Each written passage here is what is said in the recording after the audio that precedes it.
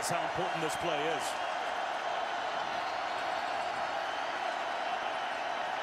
Houston off play action, up the seam. Fumagalli hauls it in with a flag down.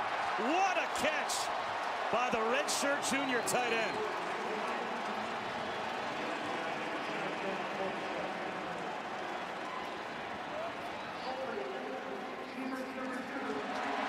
That penalty's declined.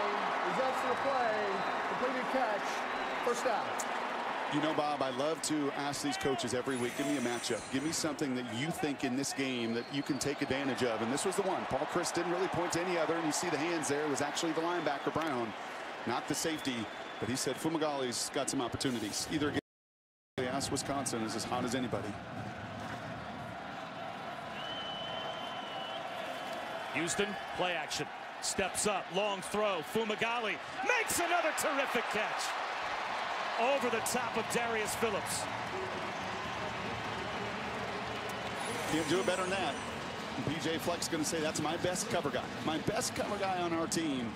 And Fumagalli, like these elite tight ends at the next level do, they win. You're covered. Right by the textbook, you're covered right there. You are in his chest plate.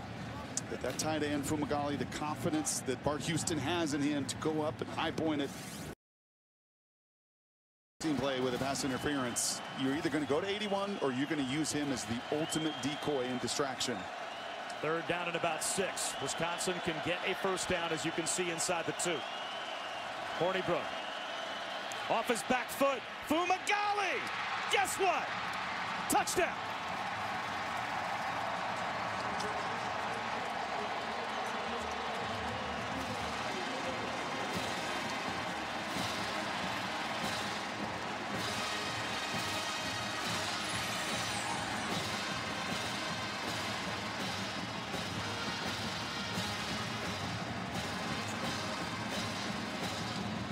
Uh, you're going to see a good tight end at Penn State in the Rose Bowl that follows us. Kid that makes a lot of plays just like that for the Nittany Lions. And Troy is saying, give me